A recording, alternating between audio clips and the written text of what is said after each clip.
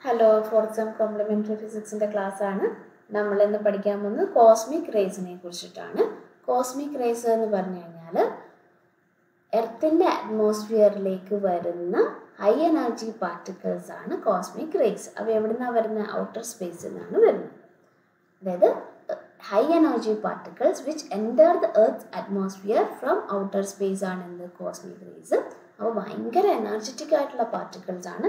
Energy എന്ന് പറയുന്നത് giga electron volt range മുതലാണ് തുടങ്ങുന്നത്. തന്നെ അതായത് ten to the power eight electron volt മുതൽ ten to the power twenty electron volt വരെയൊക്കെ ഉണ്ട്. ഭയങ്കര എനർജിയുള്ള പാർട്ടിക്കിൾസ് ആണ്. അത് തന്നെ നമുക്ക് രണ്ട് തരം ആയിട്ട് തിരിച്ചിട്ടുണ്ട്. പ്രൈമറി കോസ്മിക് റേസും ഉണ്ട്. സെക്കൻഡറി കോസ്മിക് റേസും ഉണ്ട്.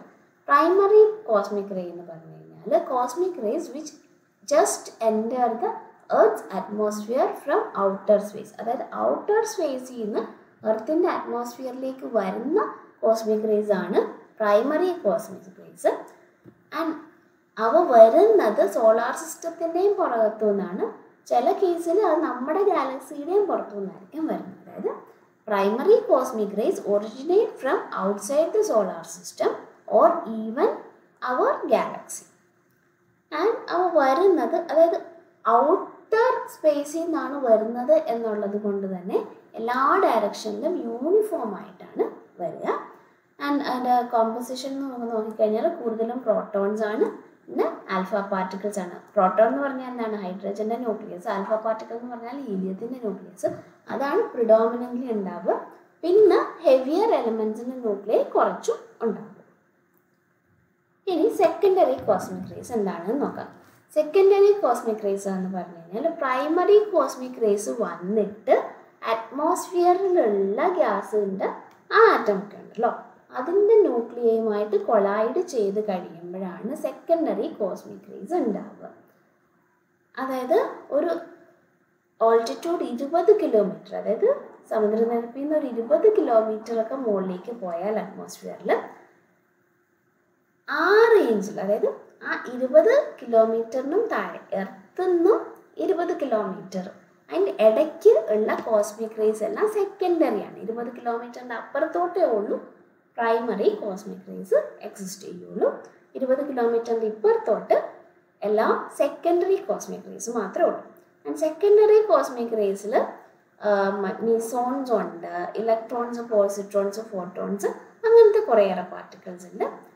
ഇതിനകത്ത് തന്നെ ഈ മിസോൺസിനെയൊക്കെ നമ്മൾ ഹാർഡ് കമ്പോണന്റ് എന്ന് വിളിക്കും. ഇലക്ട്രോണും പോസിട്രോണും ഫോട്ടോണിനെയൊക്കെ സോഫ്റ്റ് കമ്പോണന്റ് എന്നും വിളിക്കാറുണ്ട്. ഇനി കോസ്മിക് റേസിൽ ഇമ്പോർട്ടന്റ് ആയിട്ടുള്ള രണ്ട് എഫക്റ്റുകളുണ്ട് ലാറ്റിറ്റ്യൂഡ് എഫക്റ്റും ഓൾട്ടിറ്റ്യൂഡ് എഫക്റ്റും ആണിത്. ലാറ്റിറ്റ്യൂഡ് എഫക്റ്റ് എന്ന് പറഞ്ഞു കഴിഞ്ഞാൽ കോസ്മിക് റേയുടെ ഇന്റൻസിറ്റി ഭൂമിയിൽ എല്ലായിടത്തും ഒരേപോലെ അല്ല. അതായത് ഇന്റൻസിറ്റി ഏറ്റവും കുറവ് ഇക്വേറ്ററിലാണ് ഇക്വേറ്ററിൽ ഇന്റൻസിറ്റി വളരെ കുറവാണ്. ഓക്കെ ഇക്വേറ്റർ എന്ന് പറഞ്ഞാൽ എന്താണ്? സീറോ ഡിഗ്രി ലാറ്റിറ്റ്യൂഡാണ് ഇക്വേറ്റർ അല്ലേ? അപ്പോൾ സീറോ ഡിഗ്രി ലാറ്റിറ്റ്യൂഡിലാണ് നമ്മുടെ കോസ്മിക് റേ ഇന്റൻസിറ്റി ഏറ്റവും കുറവ്. എന്നിട്ട് ട്രോപ്പിക്സിൽ നിന്ന് മിഡ് ലാറ്റിറ്റ്യൂഡ്സ് വരെ പോകുമ്പോഴേക്കും ഇന്റൻസിറ്റി കൂടുന്നു. അതായത് സീറോ ഡിഗ്രിയിൽ നിന്ന് ഏകദേശം ഒരു നാൽപ്പത്തി അഞ്ച് ഡിഗ്രി വരെ പോകുമ്പോഴേക്കും കോസ്മിക് റേയുടെ ഇന്റൻസിറ്റി കൂടുന്നുണ്ട്. അത് കഴിഞ്ഞിട്ട് പിന്നെ ഓൾമോസ്റ്റ് കോൺസ്റ്റന്റ് ആയിട്ട് നിൽക്കുകയാണ്. പോൾസിലൊക്കെ എന്ന് പറയുന്നത് മാക്സിമം ഇന്റൻസിറ്റി ആണ്. പോൾ എന്ന് പറഞ്ഞാൽ എന്താണ്? നയന്റി ഡിഗ്രിയാണ് നയന്റി ഡിഗ്രി നോർത്തും നയന്റി ഡിഗ്രി സൗത്തും പോൾസാണ് അവിടെ കോസ്മിക് റേയുടെ ഇന്റൻസിറ്റി മാക്സിമം ആയിരിക്കും ഇക്വേറ്ററിൽ മിനിമം ആയിരിക്കും. ആൻഡ് ഇക്വേറ്ററിൽ ഇത് കൂടുകയാണ് ഒരു ഫോർട്ടി ഫൈവ് ഡിഗ്രി വരെ അതായത് മിഡ് ലാറ്റിറ്റ്യൂഡ്സ് വരെ കൂടിക്കൊണ്ടിരിക്കും. അതാണ് latitude effect in case of cosmic rays എന്ന് പറയുന്നത് ഓൾട്ടിറ്റ്യൂഡ് എഫക്റ്റ് എന്ന് പറയുന്നത് സമുദ്രനിരപ്പിൽ നിന്ന് മുകളിലേക്ക് പോകുന്തോറും ഉള്ള ഇന്റൻസിറ്റിയിലെ വ്യത്യാസമാണ്. ഓക്കെ അതായത് നമ്മളിവിടെ ഓൾട്ടിറ്റ്യൂഡ് കാണിച്ചിട്ടുണ്ട്. സമുദ്രനിരപ്പിൽ നിന്ന് മുകളിലേക്ക് മുകളിലേക്ക് ഇപ്പോൾ കാണിക്കുകയാണ്. ഓക്കെ സീറോ ടെൻ ട്വന്റി അങ്ങനെയൊക്കെ കിലോമീറ്ററിലാണ് ഞാൻ ഓൾട്ടിറ്റ്യൂഡ് കാണിച്ചേക്കുന്നത്. വൈ ആക്സസിൽ ഞാൻ ഇന്റൻസിറ്റിയാണ് കാണിച്ചേക്കുന്നത്. അതായത് ഓൾട്ടിറ്റ്യൂഡ് കൂടുന്നതിനനുസരിച്ച് ഇന്റൻസിറ്റി കൂടും. ആൻഡ് ഇന്റൻസിറ്റി ഒരു മാക്സിമം ആകുന്നത് ഏകദേശം ഒരു ഇരുപത് കിലോമീറ്റർ ഓൾട്ടിറ്റ്യൂഡിലാണ് കോസ്മിക് റേസിന്റെ ഇന്റൻസിറ്റി കൂടുന്നത്. നേരത്തെ ഇരുപത് കിലോമീറ്ററിന്റെ ഒരു കാര്യം പറഞ്ഞായിരുന്നു എന്താണ്? സെക്കൻഡറി കോസ്മിക് റേസ് എന്ന് പറയുന്നത് ഈ റീജിയനിലാണുള്ളത് അതായത് സീറോ ടു ട്വന്റിയിൽ സെക്കൻഡറി കോസ്മിക് റേസ് ആണ് ഉണ്ടാവുക. സോ അതിന്റെ ഏറ്റവും പീക്ക് എന്ന് പറയുന്നത് ഒരു ഇരുപത് കിലോമീറ്റർ ഡിസ്റ്റൻസിലാണ് അതായത് എർത്തിന്റെ സർഫസിൽ നിന്ന് സമുദ്രനിരപ്പിൽ നിന്ന് ഇരുപത് കിലോമീറ്റർ മുകളിലേക്ക് പോയാൽ അവിടെയാണ് മാക്സിമം കോസ്മിക് റേ ഇന്റൻസിറ്റി ഉണ്ടാകുക ആ എഫക്റ്റാണ് ഓൾട്ടിറ്റ്യൂഡ് എഫക്റ്റ് എന്ന് പറയുന്നത്. ഇത് പല ലാറ്റിറ്റ്യൂഡിലും സെയിം തന്നെയാണ്. അതായത് നമ്മൾ പറഞ്ഞായിരുന്നു. എന്താണ്? ലാറ്റിറ്റ്യൂഡ് എഫക്റ്റ് എന്നൊരു എഫക്റ്റ് ഉണ്ട്. അതായത് ഒരു zero to forty five degree വരെ ഇൻക്രീസ് ചെയ്തുകൊണ്ടിരിക്കുകയാണ് എന്ന് പറഞ്ഞായിരുന്നു റൈറ്റ് അത് കഴിഞ്ഞിട്ട് കോൺസ്റ്റന്റ് ആയിട്ട് നിൽക്കുകയാണ് എന്നെല്ലാം പറഞ്ഞു. ഒരു ലാറ്റിറ്റ്യൂഡ് എടുക്കുകയാണെങ്കിൽ ആ ലാറ്റിറ്റ്യൂഡിൽ ഓൾട്ടിറ്റ്യൂഡ് കൂടുന്നതിനനുസരിച്ച് കോസ്മിക് റേയുടെ ഇന്റൻസിറ്റി കൂടും. എന്നിട്ട് ഇന്റൻസിറ്റി മാക്സിമം ആകുന്നത് ഇരുപത് കിലോമീറ്ററിലാണ് വേറൊരു ലാറ്റിറ്റ്യൂഡ് എടുക്കുകയാണെങ്കിൽ അവിടെയും ക്വാളിറ്റേറ്റീവിലേക്ക് സെയിം കാര്യം തന്നെ നടക്കുന്നത് എന്താണ്? ഓൾട്ടിറ്റ്യൂഡ് കൂടുന്നതിനനുസരിച്ചിട്ട് ഇന്റൻസിറ്റി കൂടും. ഇന്റൻസിറ്റിയുടെ പീക്ക് എന്ന് പറയുന്നത് ഏകദേശം ഇരുപത് കിലോമീറ്ററിലാണ് ഉണ്ടാവുക. ഇനി ഇതിനകത്ത് പഠിക്കാനുള്ള വേറൊരു ടോപ്പിക്കാണ് കോസ്മിക് റേ ഷവേഴ്സ് എന്ന് പറയുന്നത്. കോസ്മിക് റേ ഷവേഴ്സ് എന്ന് പറയുന്നത് extensive cascade of cosmic rays ആണ്. എക്സ്റ്റെൻസീവ് എന്ന് പറയുന്നത് പല കിലോമീറ്റർ വൈഡ് അത്രയും വലിയ സൈസിലുള്ള കാസ്കേഡ് ഓഫ് കോസ്മിക് റേസ് ആണ് എന്ത്? കോസ്മിക് റേ ഷവേഴ്സ് എന്ന് പറയുന്നത്. ഈ കോസ്മിക് റേസ് എന്ന് പറഞ്ഞാൽ അതിനകത്ത് ഹൈ എനർജി പാർട്ടിക്കിൾസും ഉണ്ട് ഇലക്ട്രോ മാഗ്നറ്റിക് റേഡിയേഷൻസും ഉണ്ട്.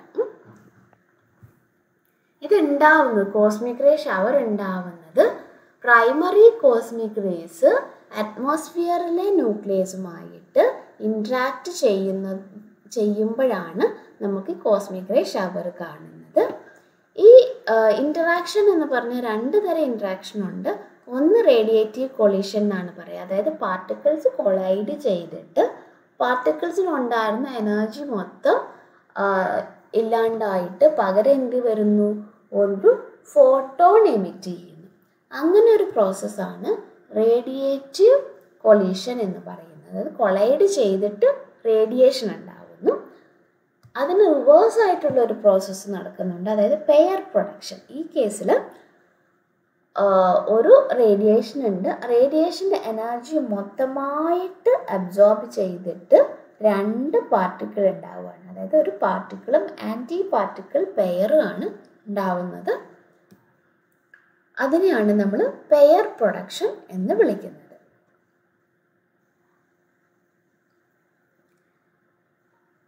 ഇനി എങ്ങനെയാണ് അതുണ്ടാവുന്നതെന്ന് ഡീറ്റെയിൽസ് നോക്കാം. ഈ ഡീറ്റെയിൽസ് ഈ പടം എന്ന് വെച്ച് കഴിഞ്ഞാൽ ഞാൻ വിക്കിപീഡിയ എടുത്തിട്ടുള്ള ഒരു പടമാണ് ഡിസ്റ്റൻസ് നോക്കുക ഏകദേശം മുപ്പത്തഞ്ച് കിലോമീറ്റർ അത്രയും ഓൾട്ടിറ്റ്യൂഡിലാണ് ഇത് വെച്ചേക്കുന്നത്. ട്വന്റിയിലൊക്കെയാണ് മാക്സിമം അവിടെ ഒരു കോസ്മിക് റേ അതായത് പ്രൈമറി ആയിട്ടുള്ള ഒരു കോസ്മിക് റേ വരെയാണ്. അതിന്റെ എനർജി നോക്കൂ ten to the power fifteen electron വോൾട്ടൊക്കെയാണ് energy ഉള്ളത്. ആൻഡ് ആ പ്രോട്ടോൺ കോസ്മിക് റേയിലെ ഒരു പ്രോട്ടോൺ ഉണ്ടായിരുന്നു. അത് ബാക്കിയുള്ള അറ്റ്മോസ്ഫിയറിലെ ന്യൂക്ലിയസുമായിട്ടൊക്കെ ഇൻട്രാക്ട് ചെയ്തിട്ട് എന്തൊക്കെ ഉണ്ടായി? കുറേയേറെ പാർട്ടിക്കിൾസ് ഉണ്ടായി. പ്രോട്ടോൺ ഉണ്ടാവുന്നുണ്ട് ന്യൂട്രോൺ ഉണ്ടാവുന്നുണ്ട് പൈ മൈനസ് ഉണ്ടാവുന്നുണ്ട് പൈ സീറോ ഉണ്ടാവുന്നുണ്ട്. നിങ്ങൾക്ക് തൽക്കാലം പൈ എന്താണ് പാർട്ടിക്കിൾ എന്നൊന്നും അറിയില്ല. ഇത്ര മാത്രം മനസ്സിലാക്കിയാൽ മതി.